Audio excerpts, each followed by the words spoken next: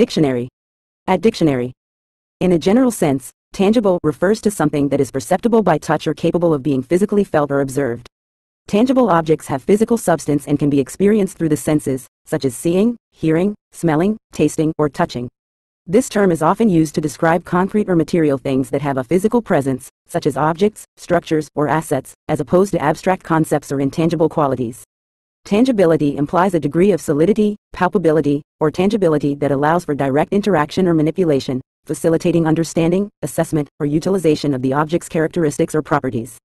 In various contexts, tangibility is valued for its clarity, reliability, and practicality, as it enables individuals to engage with and make sense of the physical world around them.